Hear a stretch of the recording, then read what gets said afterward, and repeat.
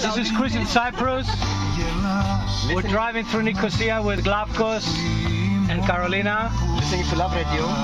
Say something, Glavkos. Listening to Love Radio. Yeah, very good music. 100.7. 100.7. Carolina, you like the music? Yes, Having a good time? turned it. Hajiyannis. Michalis Hajiyannis. Is on the radio. Yeah. And we're driving through Nicosia. And we're about to meet uh, Kostas, uh, the, the hairstylist in front of us that I have not seen in 14 years. We'll be there soon, right? Yeah. So we're driving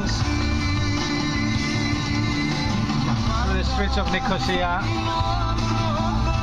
It's a beautiful October night. It's about 70 degrees Fahrenheit. And it's kind of cloudy, but it's beautiful, beautiful temperature. Enjoy the music.